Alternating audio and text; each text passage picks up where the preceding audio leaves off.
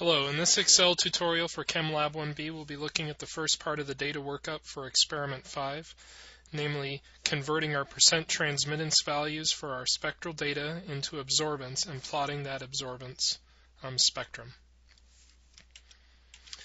I've gone ahead and I've typed in my values for the percent transmittance as a function of the wavelength and the bottle or the pH of the solution I'm testing. You'll notice I've typed in the number and the percentage symbol.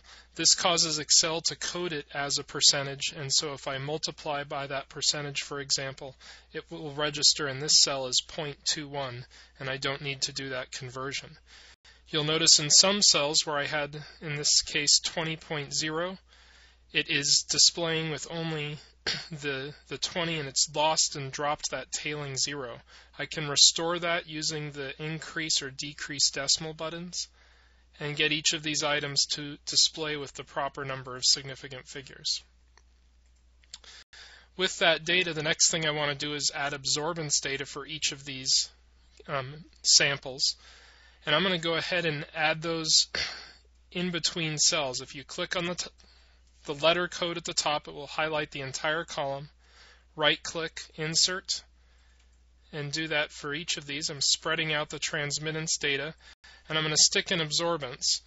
And I'm just going to label this as pH 1.84 again, or I can copy the label I put in previously.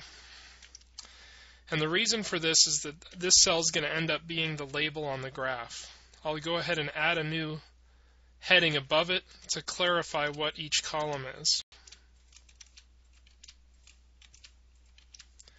And you can format text just like other applications with aligning it in the center so it's convenient. To calculate the absorbance, you'll remember that the absorbance is equal to the log, and there's a function in Excel called log, open parentheses, 1 over the transmittance. Okay, now in this case it decided to format it at percentage, which is not correct. I'm going to go to Format Cells. On the Number tab, I'm just going to give it General Formatting. I can click on that handle on the right and copy it down. In this case, I wanted a relative cell reference, so this is the absorbance values for each of those measurements. And with that range highlighted, Control C or right click copy and I can paste it in each of these other cases. This is one of the big advantages of Excel is this ability to copy and paste when you're dealing with large data sets. This isn't the easiest to see. I can use the increase decrease decimal to change the number of digits it's displaying, make it a little easier to read. The rules for significant figures and logarithms are quite complicated, so I'm not going to go into that now. I'm just going to reduce the decimals so it displays a little easier. The next step is to set it up to plot all of that data. And for that, I'm going to highlight a row on top of headings. On the left are gonna, is going to be my x-axis values and then all of the data.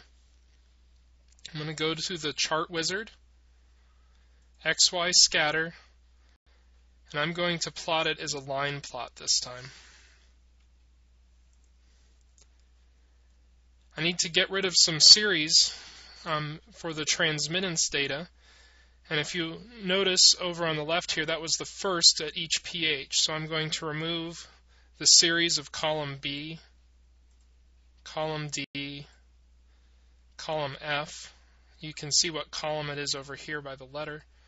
And now I'm left with my absorbance plot.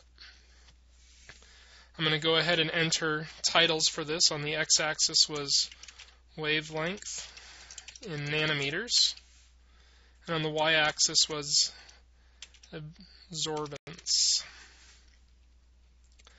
I'm going to call this experiment 5 for the title.